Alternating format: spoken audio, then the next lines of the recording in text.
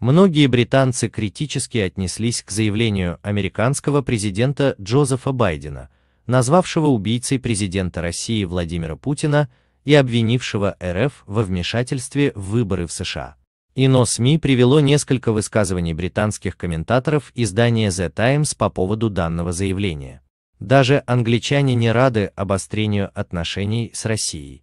Часть британцев считает, что их элиты специально ищут внешнего врага, против которого можно было бы ополчиться.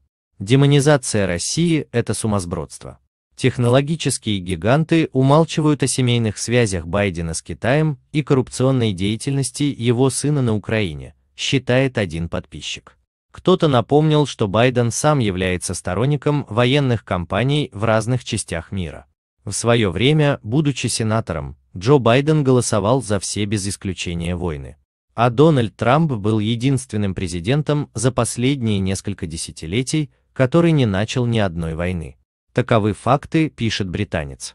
Многие на Западе считают, что главное для США противостояние с Китаем, а не с Россией, которая, мол, значительно слабее своего восточноазиатского соседа.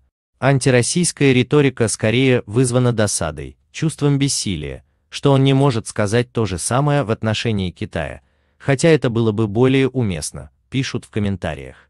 Другой подписчик предположил, что США могут говорить многое, но по части насилия они значительно опережают Россию.